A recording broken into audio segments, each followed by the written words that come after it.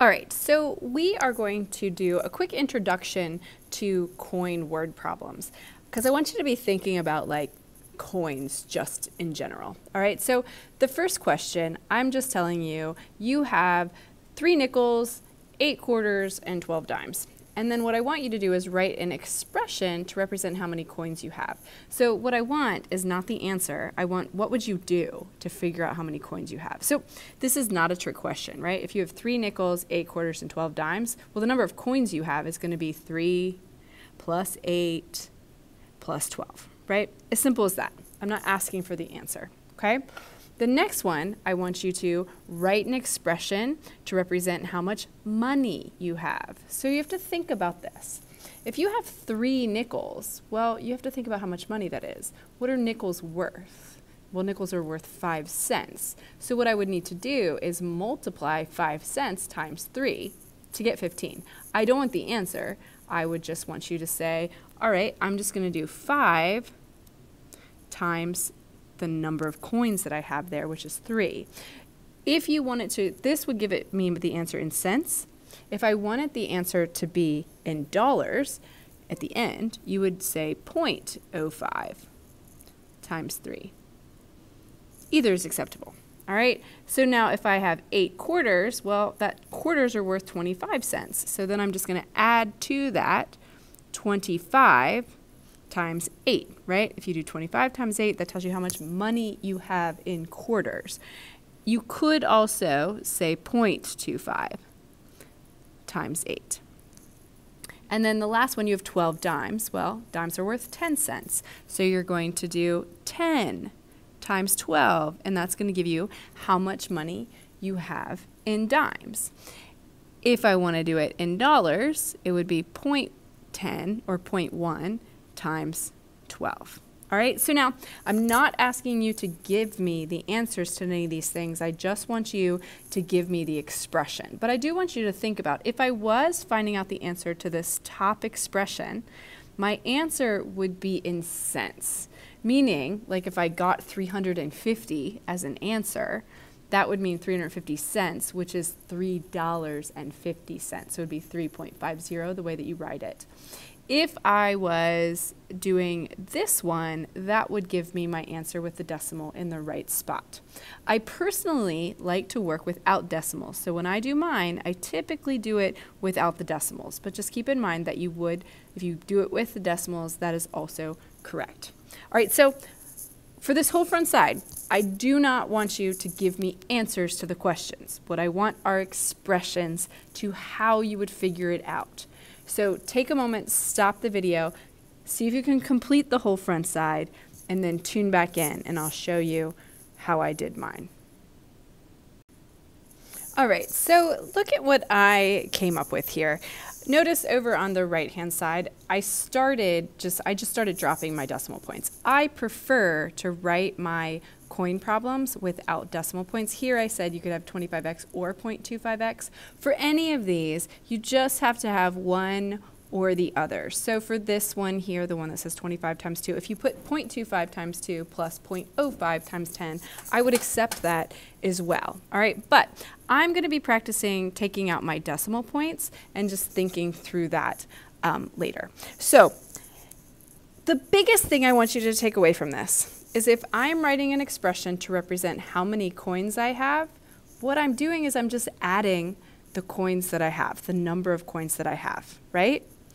If I am then asking how much money I have, you have to notice you have to assign the value of the coin in your expression, right? However much the coin is worth has to get multiplied by how many coins you actually have, all right? So take a look at this one here where I just wrote x. If you wrote 1x here, that's fine. If you're doing the decimals, you would have written 0.01x, 0.10x or 0.1x, and 0.25x there. All right, so just my biggest point that I'm trying to get across here is if I'm asking you how much money you have, you have to assign the value of the coin to the expression. So that's going to help us when we're writing equations. So go ahead and flip it to the back. So now we're going to start talking about writing equations. So this first question says that you have X dimes and Y nickels, and you have $2.50. All right, so the X dimes stands for you have some number of dimes. Like you could have three dimes, you could have eight dimes, you could have a thousand dimes, right? You have Y nickels, you could have one nickel, you could have eight nickels, you could have 32 nickels, right? It's the number of coins that you have. But the total that I'm given here is the amount of money I have, right? So it's important to understand what your total is, right? The total that I've been given is the amount of money. So now I want to write an equation, right? So my equation is going to equal how much money I have. So I'm not going to just do x plus y equals $2.50 because x doesn't stand for how much money I have. X dimes means I have a certain number of dimes, right? So if I have X dimes, that means I have 10 times X in money. So if I was calculating how much money it is, I would multiply it by 10. I'm going to take out the decimals. If you want to leave the decimals in, that's fine. But I'm going to do 10x. What that does is that's going to tell me how much money I have in dimes. And then I'm going to do 5y. 5y is going to tell me how much money I have in nickels, right? But now think about it. I didn't keep the decimal points in there. So it's not going to equal 2.50. It's going to equal 250 because I'm putting it in cents. 10 cents, 5 cents equals 250 cents, right? If you leave the decimal points in, it would look like this. 0.1, you could say 0.1x, or you could say 0.10x. You don't need to put the zeros at the ends of your decimals. Plus 0.05y, that zero in front of the 5 is important, and then equals 2.5. When I work with these, I prefer not to deal with decimals, so you're going to see me take out the decimals. So in this particular problem, I had to assign value to my variable because my total was in the amount of money. Now the next question, the next question is a little bit different. It still says you have X dimes and Y nickels, but now your total is 16 coins. So I have number of coins as my total, which is going to change the way that I write my equation. Because now if I just know I have 16 coins, well, all I have to do now is just x plus y equals 16. And that's it, right? You just add, I have x dimes plus y nickels equals 16 coins. So think about how that correlates to what we just did on the front, right? If your if your total is in the number of coins, you just add the coins that you have together. If your total is in money, you have to multiply each expression by how much money you have. All right, let's try the next one together. So the next one says there are 27 coins in your purse. There are three more dimes than quarters. So this is kind of a comparison problem as well. So we need to think about this, all right? So you do know that you have 27 coins. So your total that you have is in the number of coins, right? So this is going to be number of coins. So now when I think through the equation, I have a comparison problem. So I have to say there are three more dimes than quarters. So dimes is being compared to quarters. So let's just say I'm calling quarters x, right? So the number of quarters I have is called x.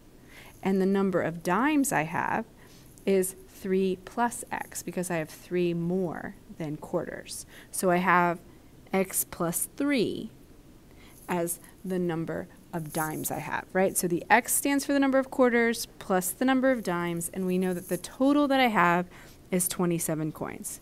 And if I solve for that equation, that's going to tell me how many quarters I have, right? Now the next one, same problem, except that I say there's $4.50 in your wallet, and there are three more dimes than quarters. So same thing, I still have three more dimes than quarters, except my total is in the amount of money. So since my total is in the amount of money, when I write my equation, I have to assign value to that part of your equation, right? So since x is the number of quarters, if I want to know how much money that is, I multiply that x by 25 because quarters are worth 25 cents. And the next one, x plus 3, is dimes. And since dimes is worth 10 cents, I'm going to multiply x plus 3 by 10. So I'm going to put the 10 in front of parentheses and write x plus 3. you're multiplying all of x plus 3 times 10. If you wanted to distribute the 10 and call that 10x plus 30, that's okay with me too. But now it equals not 4.5 because I took out the decimals. It's going to equal 450 cents, right? So that would be the equation I would use to solve for x here. Take a moment right now, stop the video, and try the next two on your own, and then tune back in to see if you've gotten them correct.